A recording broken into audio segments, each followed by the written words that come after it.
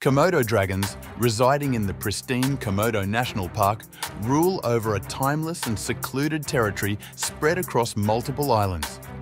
These ancient creatures, reaching up to 3 metres, possess formidable strength and sharp features, making them fearsome predators capable of overpowering large prey. Their distinctive venomous bite, laden with toxic bacteria, immobilises their victims, ensuring a slow, painful demise while the dragon waits. Despite their often passive demeanour, they are adept hunters and scavengers, detecting decay from kilometres away and attacking with remarkable speed and accuracy when on the hunt. Within their society, a rigid hierarchy exists, with dominant males fiercely protecting their territories and asserting control to secure mating rights and perpetuate their lineage.